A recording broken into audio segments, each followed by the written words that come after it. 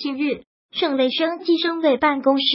发布关于在全省二级以上医疗机构全面开展预约诊疗工作的通知。至二零一八年底，全省二级以上公立医疗机构全部开展预约诊疗，三级公立医疗机构全部开展分时段预约诊疗，推行检查检验集中预约，预约时段精确到一小时。二级以上医疗机构全部开展至二零一八年底，全省二级以上公立医疗机构全部开展预约诊疗，三级公立医疗机构全部开展分时段预约诊疗，推行检查检验集中预约，预约时段精确到一小时，提升预约诊疗服务比例至二零一八年底，二级公立医疗机构预约诊疗服务历次实现零的突破。三级公立医疗机构预约诊疗率同比提高百分之五十，复诊预约率大于等于百分之八十，口腔、产前检查复诊预约率大于等于百分之九十。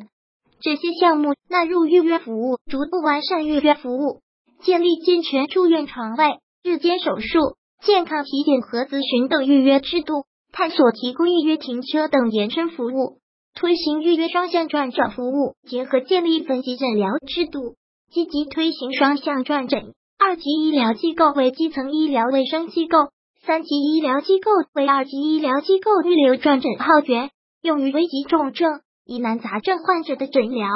通过这些方式预约医疗机构，应通过网络、电话、窗口、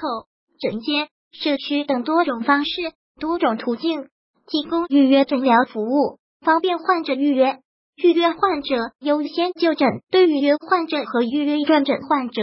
实行优先就诊、优先检查、优先住院，引导基层首诊、双向转诊。社会办医疗机构这样做，鼓励社会办医疗机构结合自身实际，推进预约诊疗，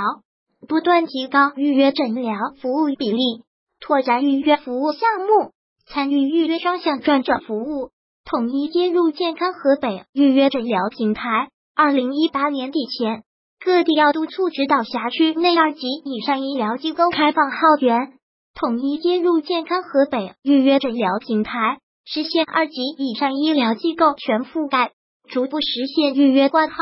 信息查询、健康宣教、缴费充值等多项优质便捷的健康服务。同时，各地各单位已开展的多种形式。的预约诊疗服务数据要与健康河北预约诊疗平台实现无缝对接，方便及时了解数据信息动态。如果喜欢本视频，请分享并订阅本频道，别忘了按赞哦！